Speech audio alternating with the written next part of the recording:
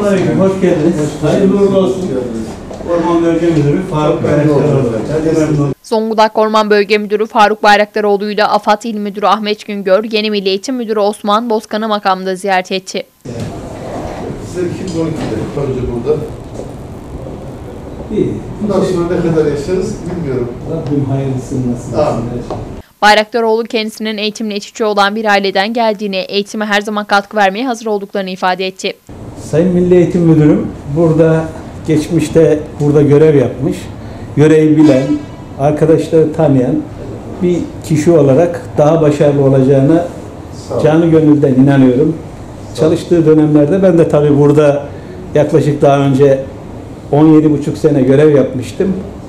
Daha sonra bölge müdürlüğü nasip oldu. Şimdi yine kurumlar arası destek sonsuz.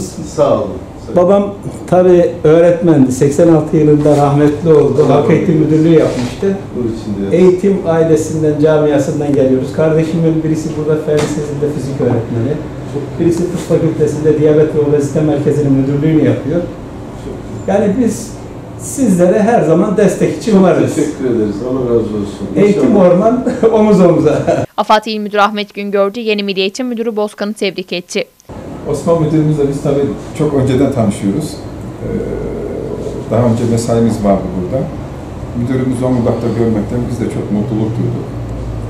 Ee, O zaman da öyleydi. Saygın, değerli bir arkadaşımızdı. Şimdi de aynı şekilde Zonguldak'a renk katacağına, eğitime büyük destek olacağına yürekten inanıyoruz.